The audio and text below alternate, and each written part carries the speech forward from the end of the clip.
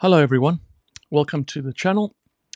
Today, we're diving into the fascinating world of machine learning, specifically looking at the two fundamental types, supervised and unsupervised learning, which I've placed inside my courses, such as the CAI MLP, which you'll see details on the screen, and the GPTP version 2 course as well, which is leveraging AI with Python. And um, whether you're a budding sort of data scientist or just a curious person when it comes to like a professional when it comes to artificial intelligence, this video will shed some light on these essential sort of concepts that are very important, which make up the crux of artificial intelligence and machine learning today. So let's get started.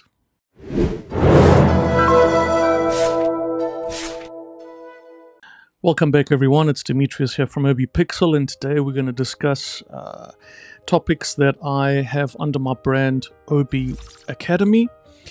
And it's specifically a small little subset of topics that I have inside my courses, as I've mentioned to you. So let's get into it.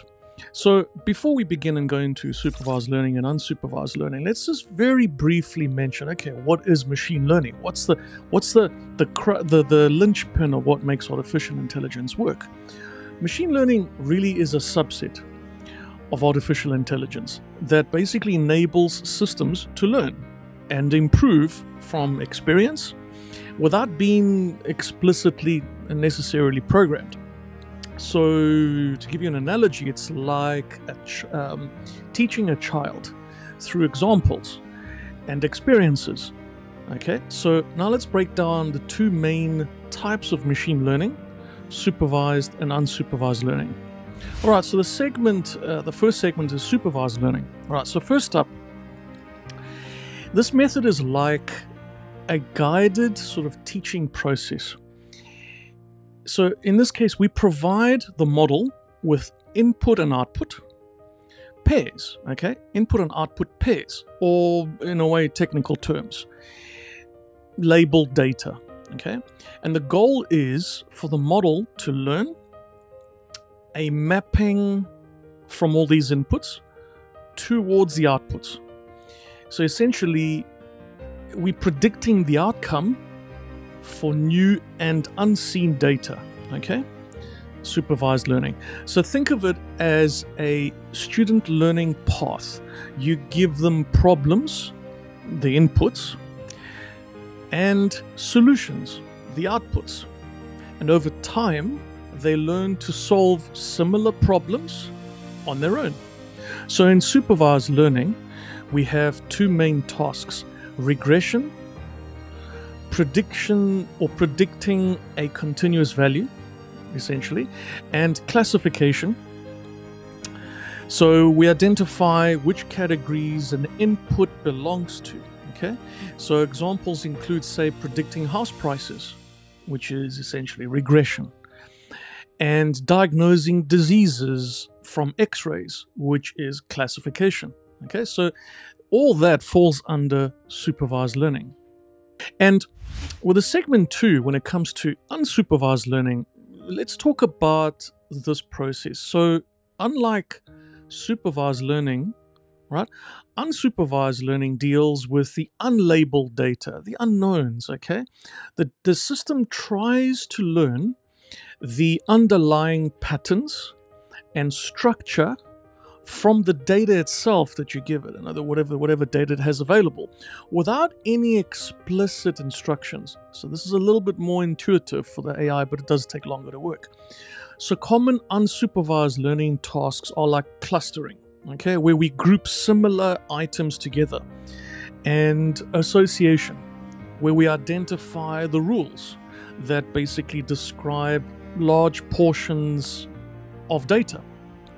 So imagine organizing a library of books without a predefined category uh, in the system. So things things like you, you, don't have a category, you can't really analyze anything very easily. So that's unsupervised learning in action, essentially.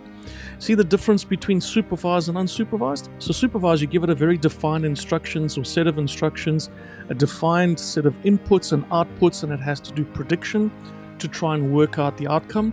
Unsupervised learning, it's essentially, well, they don't have the necessary um, labeled data. It's not known data. So there's a, a fair amount of understanding of patterns and prediction to figure out what's happening because there are no instructions. So, in this last little bit here, in terms of the use cases of uh, supervised versus unsupervised learning, well, supervised learning is really more straightforward okay? And it's goal oriented you know you've got a certain amount of milestones you have to reach. And unsupervised learning can uncover sort of hidden patterns and insights from the data right?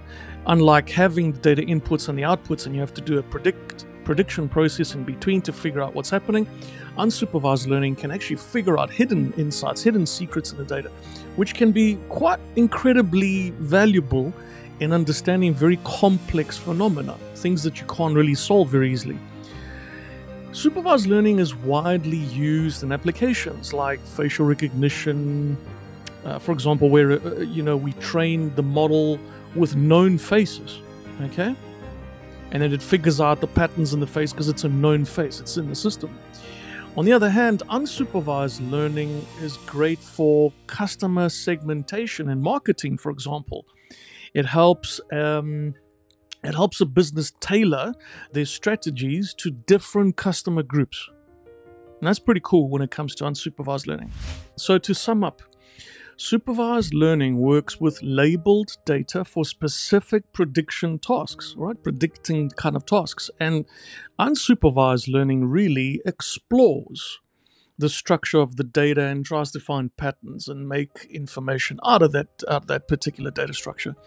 So more crucial roles in the world of machine learning and AI are adopting uh, this kind of supervised and unsupervised learning, and in many combinations of the two. Okay, a lot of the applications use combinations of the two, obviously. So I just wanted to give you a quick little rundown of these two types of, of uh, machine learning, very brief information. It's a small little tiny subset of the five day courses that I've built in the last couple of years, uh, last five years.